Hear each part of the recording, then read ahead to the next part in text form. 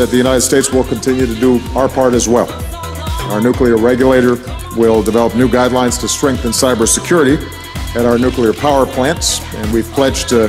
pursue the production of a key medical isotope